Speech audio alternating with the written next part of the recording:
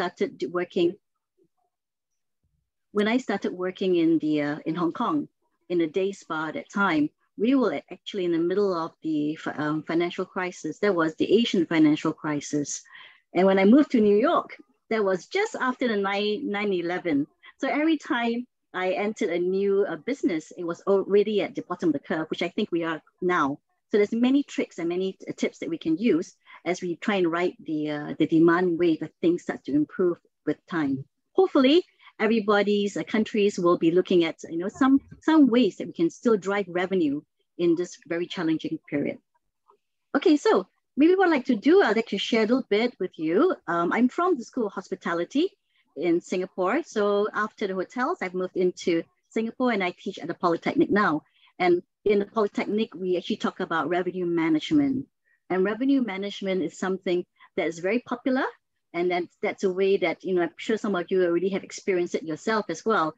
Uber pricing, hotel bookings, airline pricings, and so forth. And I do have some slides that um, I would like to move on and share with you a little bit more from. Okay, so without much ado, let's talk about what is revenue management. So what comes to mind when you think of revenue management? I know it's a big word for some of you. Any thoughts there in the chat? Feel free to add words as you come along.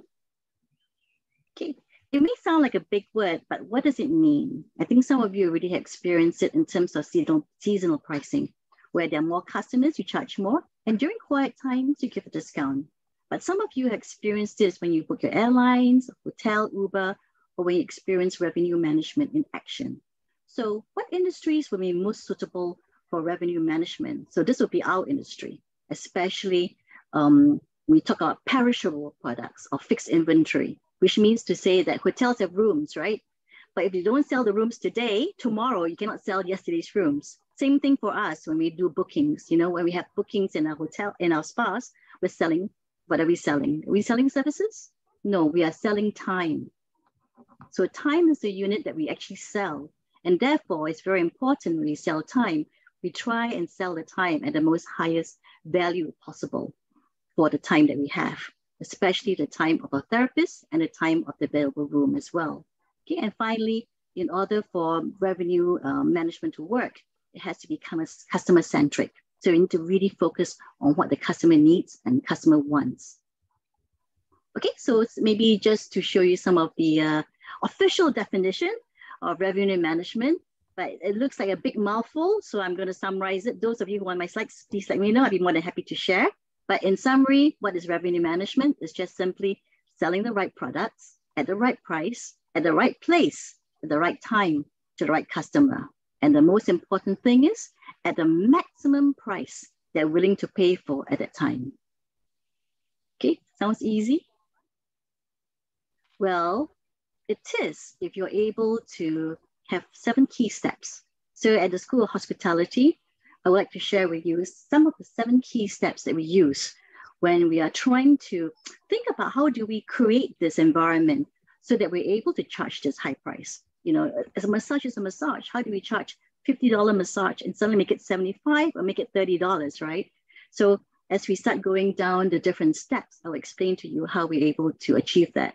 And for me, when I was working in Hong Kong in a day spa, we were able to achieve that the spa was about 14 rooms and we're able to achieve from 40% occupancy all the way up to 80% occupancy, not to mention five times, um, five times, which means 500% the revenue that we got when we first started by looking at individual, small, small, over time, over time, it will be over a two-year period, you know, where we're able to use incremental changes in the ways that we approach um, booking time in order to be able to sell it at the highest price possible. Okay, so the first step that we need to know is who are your customers? Okay, that's a very important thing.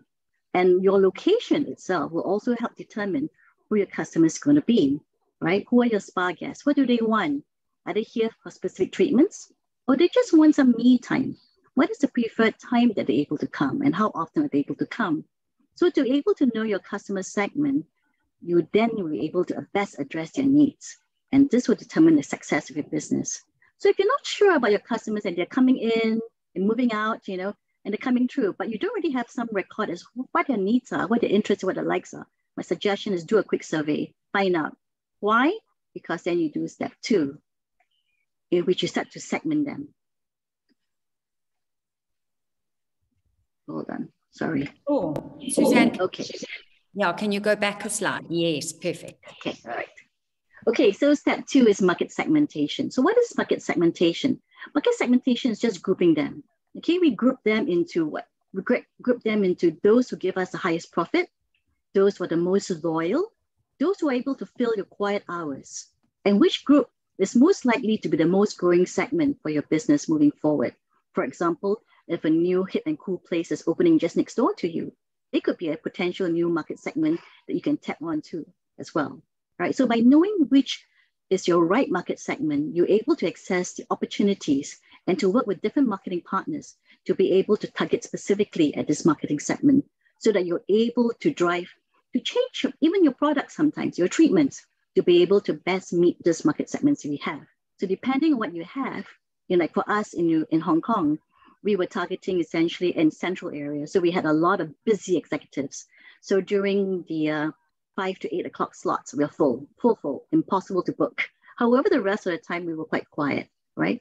So over time, we started to see, okay, then what sort of market segments can we address? Since we really got a captive market of, of busy executives, how are we able to fill our time with the next group? We look at Tai Tais. In Singapore or Hong Kong, Tai Tai simply means rich socialite who happens to live very close to where we where we have our spa as well. So we're able to target them, address them, and then trying to bring them in during the quieter hours because they were able, they were not working. So they were able to come in at the quieter hours too. Okay, next step. What do you need to do next? You do need to also understand your company's strength, weakness, opportunity, and threats. So what is this? It means what does your company stand for? Who are you? Are you just a any spa? Or are you a spa with some very unique um, programs? For us, we had a spa that's very cosmopolitan. I think we were the only spa in Hong Kong at that time that was bilingual. We spoke fluent English, fluent Cantonese, and then we appealed to a very niche group of very cosmopolitan, uh, high-end clientele, you know, in terms of the way we were able to address their needs. And of course, from there, we were able to um, de um, design treatments and programs and also look at ways where we're able to maximize the spend that they spend with us. Course, apart from doing it by yourself, you need to know about your competitors too. Who's next to you? Who's opening next to you? All right. Where will your where will your clients go to or where your customers will go to when you're full, when you're fully booked? You know, where would they go to next? But by knowing that is very important so that you're better able to tailor your business in such a way that you're able to attract them and to keep them. All right. Beyond that, you also look at your where are secondary competitors? Where would they go? Where would they go to for celebrations? Can I also bring them to my spa as well? Okay. So by knowing all this will give you a better idea how, it, how you're able to understand your consumers much, much better. And then this will lead you to the next step, which is demand forecasting. Okay, what is demand forecasting? It's very important, especially now, you know, we have just in case uh, inventory, okay, is no longer just in time, which used to be the keyword, just in case, because you never know when the supply is going to come next. You're not sure when the towel is going to come next. You're not sure when the products from or the enzyme peel is coming next. Like in Singapore at the moment, enzyme peels is very hard to find. Okay, so just in case um, ordering is very important too. So you understand your business patterns. By understanding your business patterns, your stocks, your towels, your therapists, understanding your demand is very critical in order to be able to create space, in order for you to be able to generate a maximum from your revenue management by allowing for more therapists, especially on-call therapists, to be part of your be part of your group as well. So you're able to then um, drive certain demand at certain times. And if one of your staff is out, you always have people to come in to be able to be backup. So I always tell my therapists that if there's no customers coming today or you run our products, it's not your fault, it's entirely mine because I didn't do any planning. So demand forecasting, planning is very critical. You cannot just wait for today and say, hey, I hope I hope someone's going to come through the door. It's not going to happen. You have to plan, you have to make it happen. Okay, the next one would be channel analysis and marketing. So if you have done step one and step two right, and I think some of you remember step one, step two, right? Which is your customer. If you understand your customer and your market segment very well, then you're not going to spend and waste money on hitting everyone in your marketing. You'll be able to be more focused, more targeted, be using Facebook, Instagram, or the various different uh, social media or different media that you have in your neighborhood. So you're very, very targeted in the way that you're able to achieve them. For example, HubSpot blog did a survey to say that, you know, at least people are looking to five, three, four, you know, different platforms in order for them to maximize the marketing. And like for us, for example, content marketing is excellent because content marketing also creates a positioning for your company as well and to let people know who you are. I will, of course, share a little bit more about ClassPass, which I think is very interesting that some of you, if you have that, can consider. Okay, next, I think I'm going to spend a little bit more time in this area where we're going to talk a little bit about dynamic value-based pricing. Because when you talk about revenue management, the first thing everybody thinks about would be dynamic pricing. So what exactly is this when you talk about revenue management? It's just simply saying, instead of charging your spa treatment, be it one facial or massage at one price, right? If you do that, you get only this amount of revenue. Instead, what you do is you charge it at one price, but you'll be able to bundle it in such a way that you can, during certain peak periods, charge it at much higher prices so that you're able to achieve also this extra revenue from here and also lower at this extra revenue from here when the demand is um, less, but your prices is cheaper. Okay, so this is definitely one way to do so. All right, so this is not a tactic. This is a strategy where the company looks at a way where they're able to drive revenue as a strategy. So what do I mean by driving revenue as a strategy? So you do need to, of course, look at overall um, environment around you. you know, what is your demand of customers? You do need to do a plan. You need to study it, all right? You need to look at what is your tentative bookings and which hours and which days are you always full, all right? What is your current market condition? Is next month, you know, it's going to, like for us in Hong Kong, there'll be Navy Week. Well, the Navy boys come, for sure that, that week will be full, right? Or Christmas periods, for example, it's going to be really crazy full for us. But during summer holidays and summer vacation, the spa is opening at maybe half capacity because everybody's gone off for the summer holidays. So depending on what um, your understanding and you really need to understand your business, then you're able to plan properly and able to do proper forecasting and pricing at the right time. Okay, as I was mentioning to you, what strategic pricing? Strategic pricing essentially is positioning your price at where your value of your business is at. For example, when I opened up Mandarin Oriental in, in New York, I was the opening spa director then. So I was the one responsible for setting the price for the spa treatment. At that time in New York City, the average price was $100 US per hour for treatments for massage. But when we came in, we said, you know, to our bosses, we want to charge it at 180. He said, 180? Nobody's gonna come for $180 plus plus, which means plus service plus tax it comes up to $260 US dollars. But we said that, you know, it's very important because we need to be able to position clearly that we are not going to be at the regular price point and not at a regular hotel price point, but for Mandarin Oriental, we have, we have the whole shebang. We have food, we have the whole spa suite, we have the whole services coming in for treatments an hour, an hour before treatments where you actually have to use of full facilities. Then the premium price, 180 plus plus is definitely worth paying for. Plus, at the same time, there's also the positioning of the hotel as well. Okay, so whereas in Hong Kong, we're able to price it probably because at time when I when I mentioned to you, we took over um, at, in the middle of the Asian crisis. So nobody is going to play premium pricing at that time. So we did was we did bundle pricing. So we focus on hours. So okay, for one hour, I will charge it cheaper, but I want you to stay longer. So instead of coming one client coming for one hour of treatment, why don't you come in for two hours of treatment instead? Our price is slightly lower, but I want you to stay longer. In this way, so instead of getting two customers to come in for that time, you're able to get one client at spending longer in the location itself. All right. So there's are many ways in which you can look at um, pricing in order to be able to drive higher revenue for your business. Okay. For example, there are three types of tactical pricing. One price one thing that I do not want to do is discounts, discounts, and discounts. Because discounts really give the business a bad name. because it will start to lower your image if it's just purely focusing on discount. Instead, you add value. So value can be added using bundling. Okay, you can do facial massage, you can do with products. I think some of you are very concerned about product sales, right? Bundle the products in so that it keeps create value for your for your company, for your business as well. For example, someone who's coming in with skin issues, bundle the product in, sample products, let them try. So bundle, sample products, let them try. And after they try, majority of the times, if they like it, they will buy it. All right. So create that relationship, let them try, bundle the products. You know, be innovative in the way that you approach things.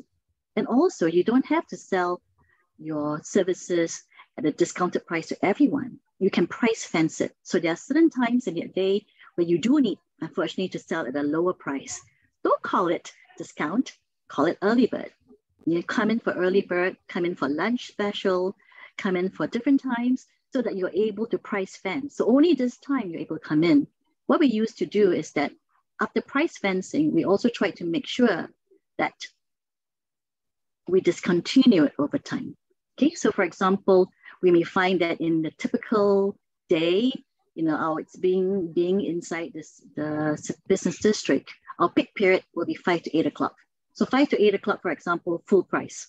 The massage, the services, everything we have full price. However, um, we started launching, but the rest of the time it's pretty empty, right? The rest of the day, it depends. And especially those of you who have got two shifts, right? So you got a morning shift and you got an afternoon shift coming in, and they all come in between two to five, and that's when you're full. But that's also the time where you don't have a lot of guests. So you end up carrying a lot of salary without a lot of guests. So what do you do? So this is a time where you can start looking at promotions. Okay, promotions getting sampler, new customers to come in for the first time. And you use new promotions to try and drive traffic to these hours, all these hours. Okay, so that you're able to create a loyal group of people who, after coming to the same time again and again, create a habit. And of course, you continue early birds with them. No, you drop. You reduce the days that you are full with early birds. But what you can do, you can capture their hearts by ensuring that you maybe offer them at a special early bird prices ahead. They may be able to buy 12 packages from you way in advance or 24 packages to last them for maybe a year at these early bird prices. For anyone new coming in, full price, right? So as you start to find that your morning slots become peak, then they don't do early birds anymore. Early birds is retained for those loyal to you and have been with you for some time. You convert them by offering them a special package value price, which they can continue staying with you. Then, of course, these ones who are very loyal, then offer them, continue to offer them at a special early bird prices as they continue to stay with you moving forward. But anyone new coming in at that time, full price. Okay, so this is how you're able to look at differentiated pricing in order to be able to achieve the maximum revenue possible. And then over time, start to drop. Okay, as you find that, oh, this hours, they're used to coming during lunchtime to do a quick facial, no more discount.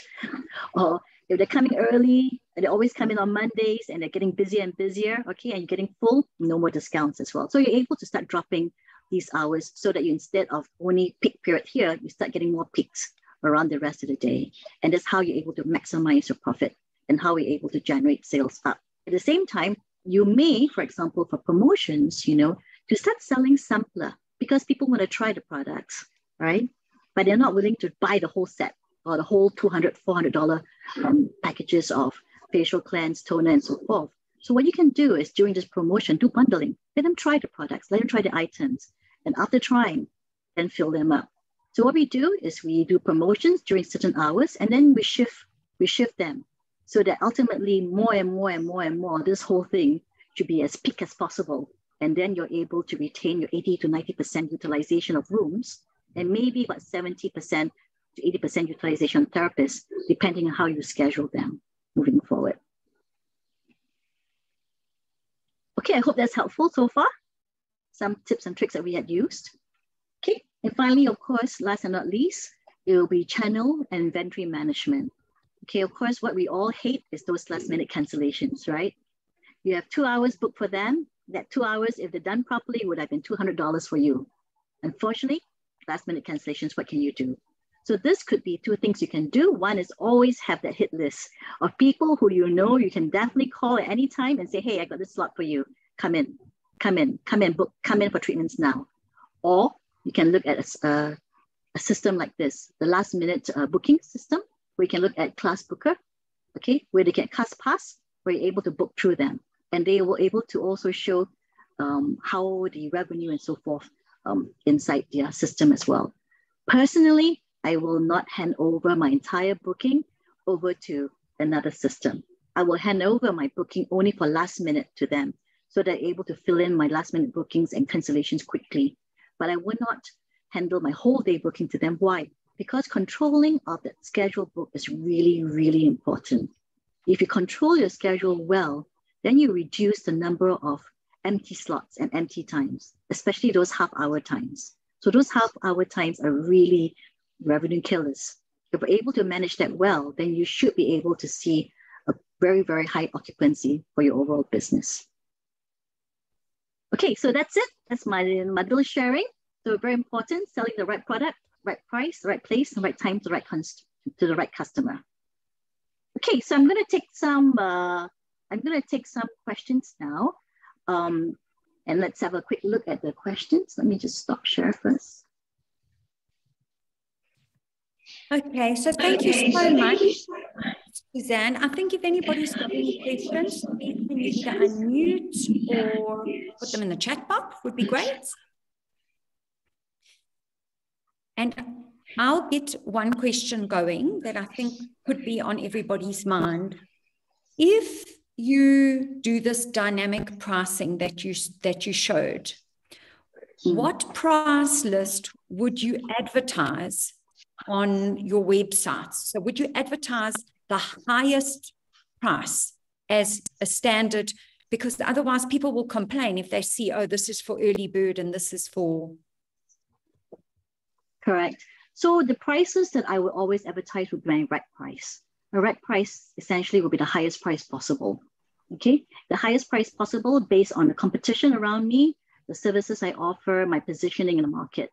So, for example, in, in Hong Kong, if the price was about 100 US dollars for treatments for my average price for my neighbors, then I'll be pricing it at 130 or 140. So I'll be 30 to 40% higher than everybody else in general. Okay, depend because of the uh, of the cosmopolitan vibe, the positioning that we have our business.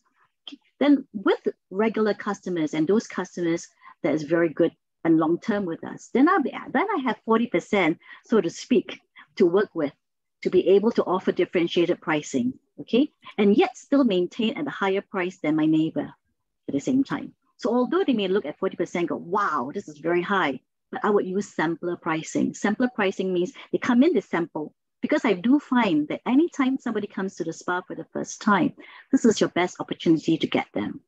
And what I do is I always work, like for example, I, know, I don't have receptionists in my spa. I only have consultants.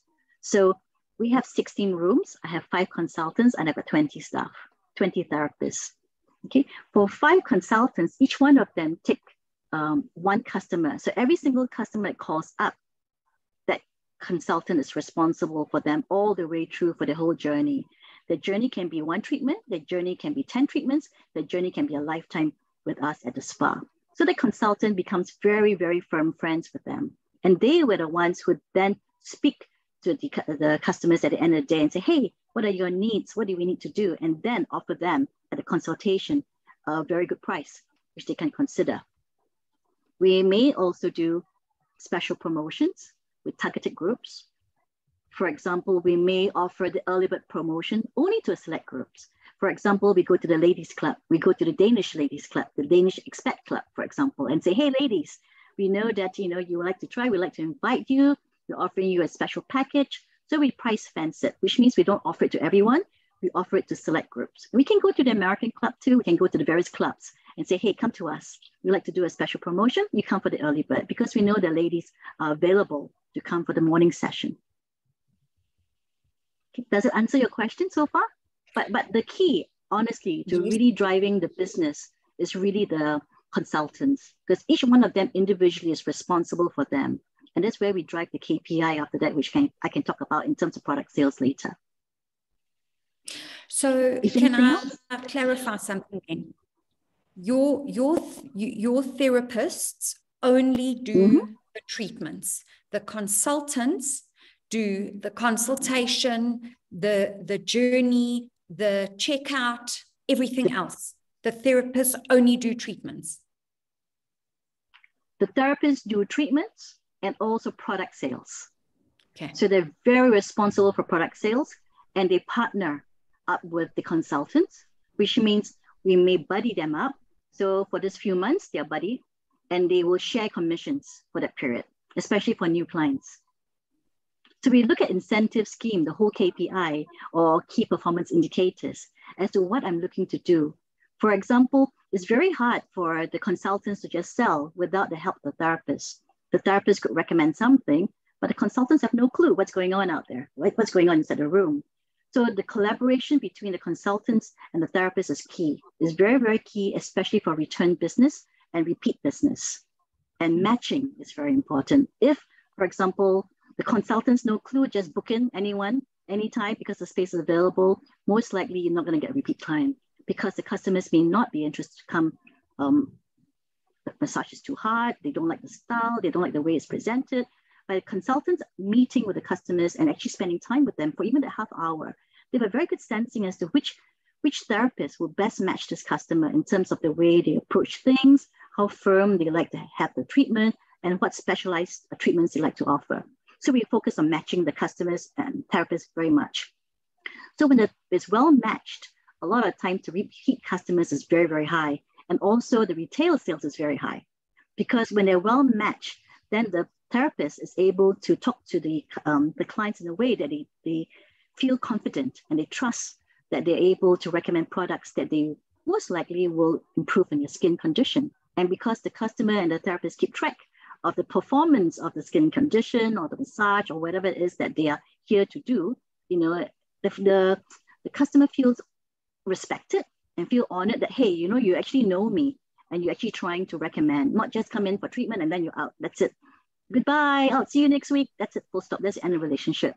So the relationship we try to create is a very intimate relationship. I think the hotels do that too, especially with regards to data, information on the customer, so that I think in Mandarin Oriental, what we do is that we know every client that comes in, we always address them by their name. From the doorman to the concierge to the GM, we will they'll be able to recognize the client and, and the, the hotel guest and recognize by name because all of us have seen who is coming in for the day. So roughly we'll know what is their needs, what their interests, and so forth, and we're able to address that. And that's how we're able to offer exemplary service. And non-exemplary service in any five star, any service that you do, this is the way to retain customers. That's amazing. And then do you advertise the sampler pricing? Do, do you advertise that? Do you say, come for a treatment for the first time? Or do you only when you get a call for the first time, do you say, okay, we have a sampler um, price for you? How do you handle okay. that? So essentially, what we do is we have the right price that's at the spa and also mm-hmm. at our website and stuff. Okay, then yes. we also have promotions where we do, for example, we do deals with the uh, the, yes. the, Sunday papers. Because okay. in Sunday papers, in a very expensive newspaper of South China Morning Post, you know, it's normally typically very expensive from Monday to Fridays. However, on weekends, it's actually very cheap. So we always buy the first corner of the uh, South China Morning Post, and we always advertise our sampler promotion uh, for everyone. So for example, we'll do our three months promotion like uh, Chinese New Year, Spring Festival, detox, because after Chinese New Year, everybody eats a lot, right? So detox time after Chinese New Year, right? Then for example, getting ready for summer. So we'll do offer slimming program. So we'll do sampler programs like that, you know, promotions where we talk about two things. One is the promotion itself, like for example, summer, summer slimming.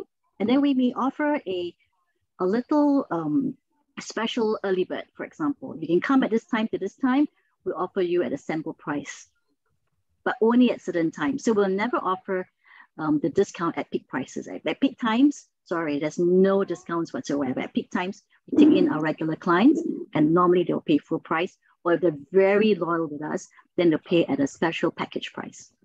Okay. Okay. And and typically what type of um discount do you offer? Well, I know you don't like the word, but what is the offering on a sampler treatment? Do you do you just it will be about 30% discount. So it will okay. be discounted 30% from the right price. And that's the price where they'll come in at a sampler rate. But of course, you know, my profit margin is, pretty significant already because as we compare against um, the other other um, competitors around us, we already price at a certain, uh, certain premium. So when we lower it, we still make a, a comfortable profit. Yes. Again, it depends on your business. We were able to do that because we were the, the price leader. So as a price leader, we're able to command the pricing and because we're a premium product. So a lot of times we, and we were pretty much the only one offering the exclusive at that time. But of course, as the years change, you know, we also have to react accordingly as well. And over time, we needed to look at reducing the pricing, but we don't never reduce the pricing. What we do is we look at improving the um, menu. So we will revamp the menu, we improve the menu, and those that we feel is not getting much traction, or that if it's getting much traction and it's very popular pricing, we will never increase more than 5%. If they increase more than 5% for the most popular treatment, everybody's going to complain. But if you're able to offer pop- popular treatments, right, but maybe not so busy, but but things that are um, that are therapeutic. So therapeutics, people are more open to pay at a higher price. So if you do charge slightly higher, even 10% or 50% higher, or call it a new name and rebrand it by adding more products to it or something like that, or even a, mask, additional mask or additional treatment to it, you're able to increase the price higher. So over the three years that I was working in, in Hong Kong, we started off maybe about, because it was middle of recession, we started off about maybe $50 first. And then within six months, we moved it to 80, 90, then 100. And 100 was our minimum price, for example, that we have there. And then over the years, as we start introducing new treatments that we have in, the new treatments will come in at 110, 115, 120, and we start moving up. Of course, you have to keep the core treatments, the, the ones that clients totally love, at a very comfortable, uh, competitive price. I love it. Does it answer your question? Yeah, it sounds amazing. Does anybody else have any other questions? I'm sure you do. I've got more, but I'd like to give everybody else the opportunity. Do you want to either unmute or go into the chat box and pose a question? Come, everyone. We've got Suzanne for a few more minutes. Ask away. Here's your turn. Maybe I refer to some of the questions that was asked earlier with regards to um, with regards to retail sales. I think yes. retail sales, um, everybody's very concerned. What what we did for retail sales is that we worked with our therapists. Um, in order for retail sales to go up, the therapists need to try everything.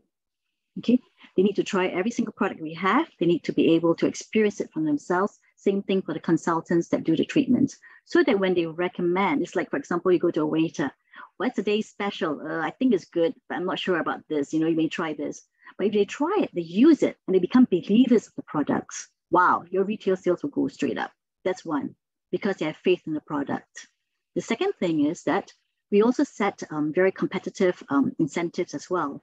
And every time they hit a certain incentive a target, for example, where we first started was 5% retail sales. By the, by the time we finished, we were about 60% retail sales of treatment, which means if the treatment is $100, then we'll start off with maybe $10 of retail sales per therapist. But over time, we moved it to almost 50% of retail sales, which means they were spending, each client that came through was spending about $50 for their retail.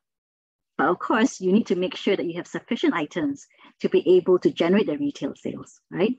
So retail sales that can be generated, you cannot sell the fluff items. You do have to sell the therapeutics. And you need to have sufficient mix in the retail sales itself to be able to offer seasonal products. Okay, you need to also offer products that are slimming. Slimming for sure sells very fast if they do it well two times a month, two times uh, they use daily, you know. Um, skincare products, therapeutic skincare sell very well as well. And the retail sales, the repeat business is very, very high. So they're able to continue there. Um, those are the two key things that will definitely sell very quickly. And of course, other things that you can add on for seasonal promotions, the seasonal packages, bundling the packages together with the products can also raise the sales as well. So these are ways and techniques they can use.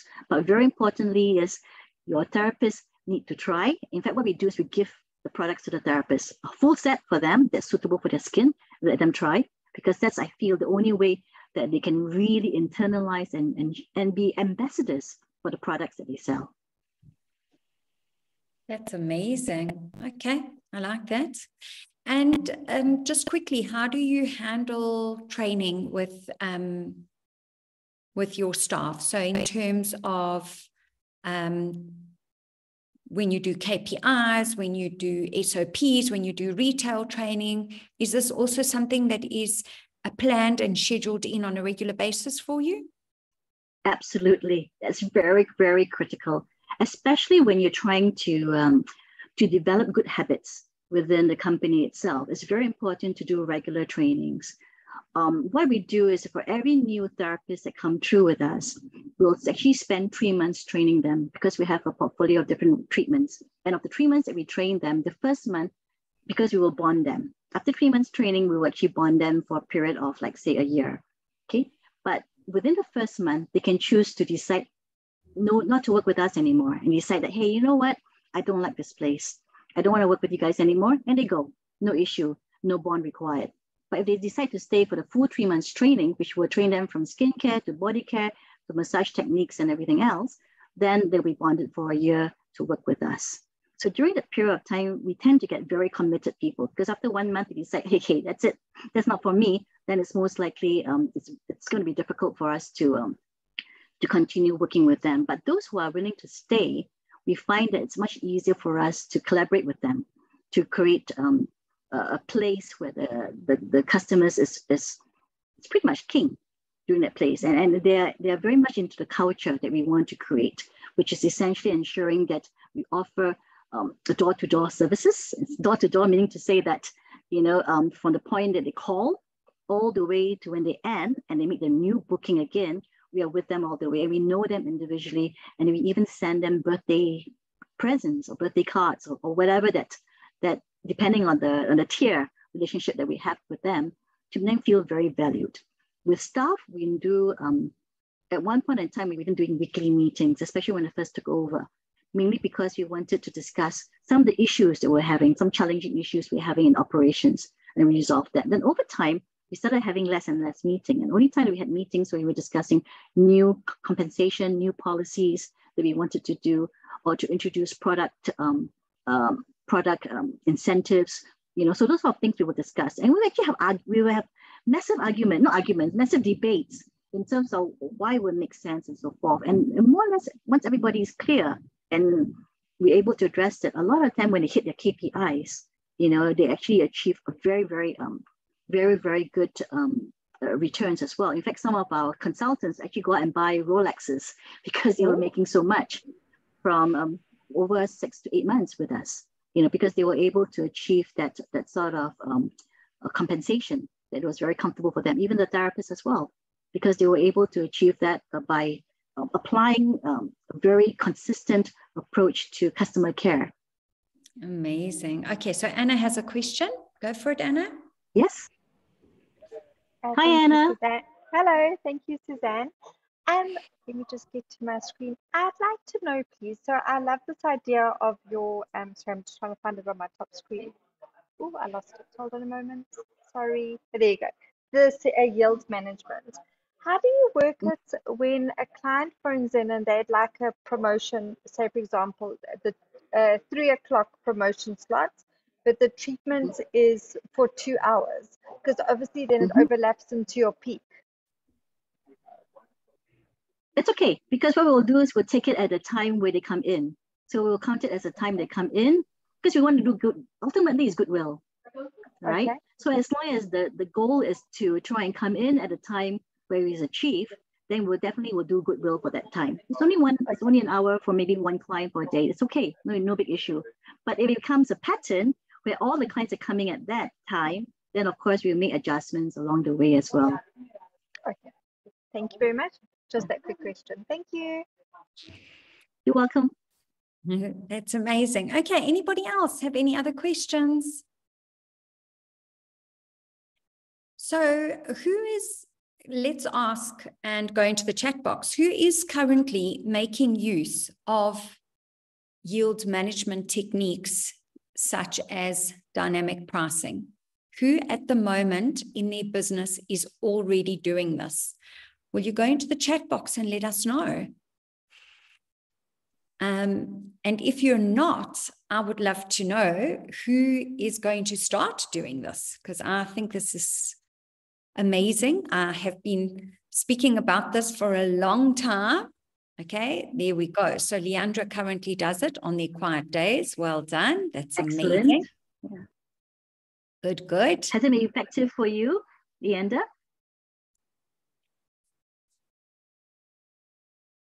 Has it been very effective for you, Leandra?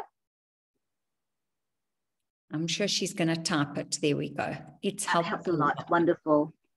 Yeah. It's able to also um, maximize your therapist revenue and commissions as well by not having the, the quiet time. Okay. Oh, that's Dominic. awesome. Yeah, at least now Dominique has got a new project that she can do implement it um, right. with a with a great spreadsheet like that. That's brilliant. Okay. Mm-hmm. Michelle says also a very basic version connected to room mm-hmm. sales packaged with treatments in midweek. We also bundle yep. for treatments. Excellent. Danae says we do bundle packages. Okay, that's great. Wonderful, wonderful. Because I think when you do that, you really offer value to customers as well. And that's really the key. Once you offer value and you match them well, the chances of them coming back is very high because every mm-hmm. dollar that you put out for advertising is very, very high just to bring them in. So it's very important that we find ways to keep them with us. And we find ways, you know, where we're able to use different sort of pricing to be able to attract them and keep them uh, so that they will stay long term with us. Correct. So it handles both customer acquisition and customer retention, which is fantastic. Okay, everyone. So if there is no more questions, please go into the chat box and give Suzanne your best takeaway from today. So, what was your absolute best takeaway that you are going to implement and that you really found totally fascinating so that she can get some input on her presentation. Um, thank you so much again for giving up your personal time. I know it's dinner time, so you're going to eat a little bit later today, but we really, really do appreciate all the input that you've given us. And My pleasure. I hope, I hope to, always... to meet you in Singapore because I'm going yes with Anna in November. We're going to go to the Cosmoprof there. So hopefully we'll meet you in person. That'd be wonderful. I think I have a slot for speaking there as well. So I shall definitely look forward to meeting you in Cosmoprof. Yes. Lovely. I'm also yeah. speaking, so that will be amazing. I'll definitely see you. Okay. Marisa, for those yes. who are very interested in um, the slides, I'd be more than happy to share. They are, yes. of course, very welcome to email me or I can I can uh, send it. I can just put my email here for those who are interested. That's wonderful. That's great. Okay, so Leandra is saying she found the consultants um, with a guided journey the most valuable takeaway for her. Anna says she's also looking forward to meeting you because she'll also be in Singapore in November. And she loved, she couldn't choose the best tip. She loved all of them. Liz said strategic pricing versus tactical pricing. Yes, Liz, I also found that very, very beneficial. So that was amazing. Any other feedback from anybody else? To Suzanne, Dominique says strategic pricing. Thank you so much. Great. Any more feedback for Suzanne before we say goodbye?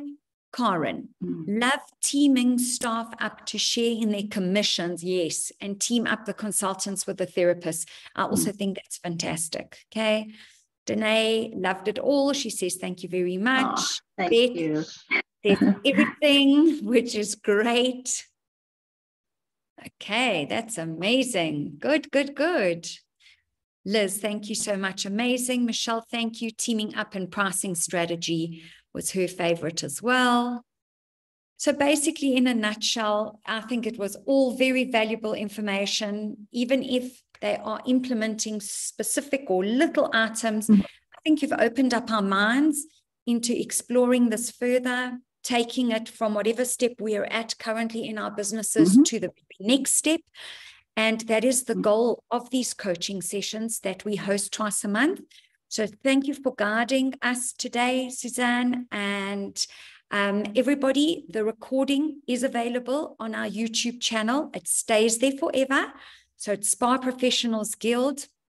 We put the recording there with the topic heading so that you can go in at any time and search for any of the topics that we've covered over the last two and a half years. So make use of that YouTube channel. It's got lots and lots of valuable information. Okay, so thank you so much, Suzanne. And that's it from us. Thank you, Marisa. And thank you, everybody else. I really appreciate your comments. And I'm, I'm hoping that your business also will grow and your revenue will increase over the next few months. Looking forward. Okay. See you in Singapore. See you in Singapore. Thank you. Bye. Bye-bye. Bye.